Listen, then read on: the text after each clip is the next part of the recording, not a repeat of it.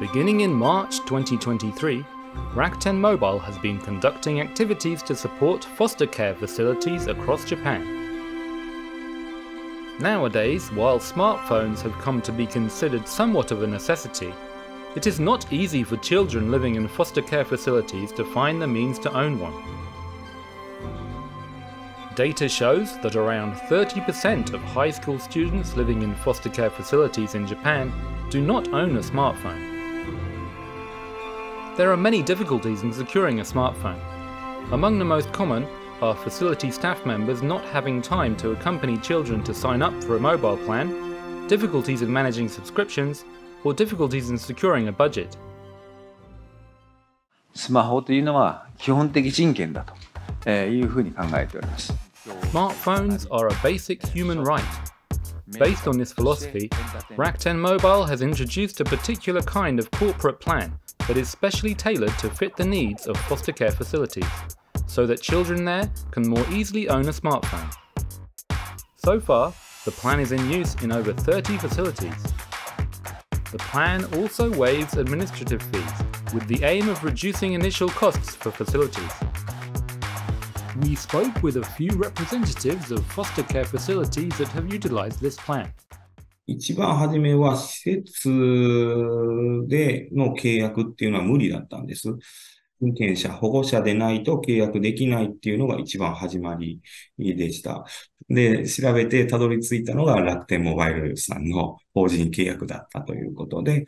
で、もうそうなるとですね、法人の契約なので、保護者の同意とかですね、まあ、親権者代理で施設長が出向くとか、そんなの必要なく、えー何台の SIM の契約っていうんで、まあ、簡単に契約ができたので、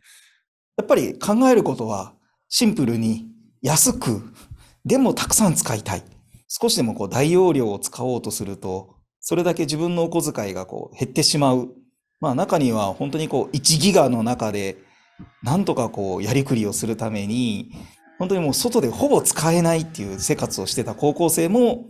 ぱり何人かいたんですよね。これまでのその子が1ギガで使ってた料金よりも安い料金で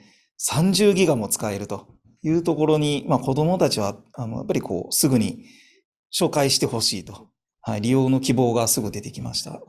前聞いてたのは、その学校でこう友達とのやりとりでも、こう、ちょっとスマホを出してよって、ちょっとこのなんか動画再生してみてとか、そういうギガを使うことを、通信量を使うことを求められたときに、結構やっぱり躊躇してたと。友達との。なかなかそこにさっと出してこう、開けないことがあったけれども、今はもう堂々と動画を再生して見せたりとか、まあそういう共有とかがすごくしやすくなったっていうのは聞いてますね。もう本当にいいプランなので、どんどんと、まあ、全国のですね、施設に増えていってもらいたいなって思いますし、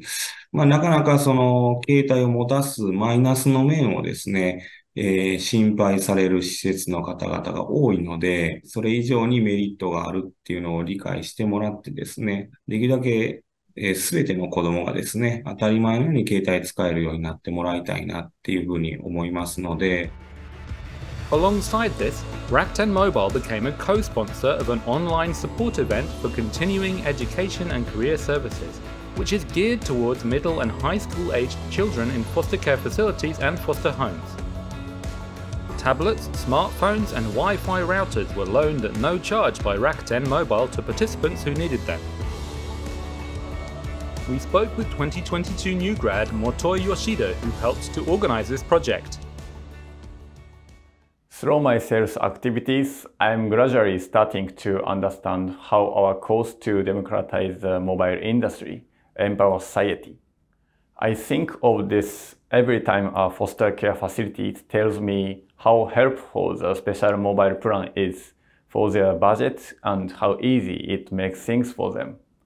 Proposal for service which limit app usage and phone time are also popular because they allow children to use their smartphones safely.